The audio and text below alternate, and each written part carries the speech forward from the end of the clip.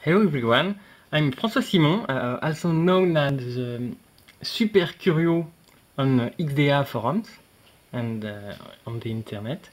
Um, today I'm gonna show you uh, the Samsung Galaxy S, but with a surprise, uh, something that wasn't uh, yet uh, done.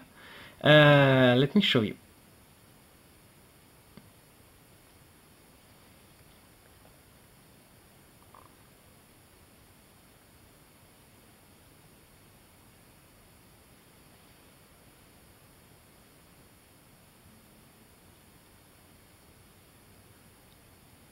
This is different. Okay lots of you, of you uh, know this one already.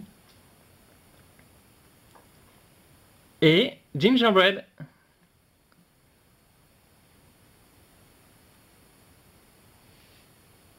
So fast so smooth just released and uh, already ported uh, on Galaxy S uh, so I ported the, um, the kernel and uh, also some uh, init script uh, to uh, to make it boot and uh, the system itself is the, the standard one dumped from the Nexus S unmodified.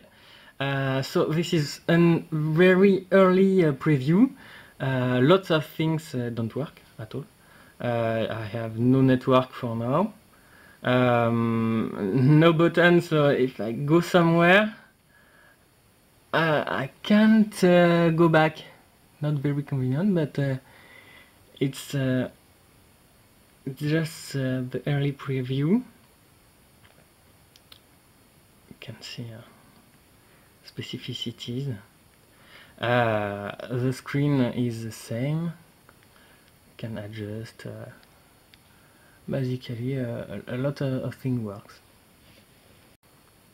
Of course uh, something I must show you is um, the cool effect when you push the power button.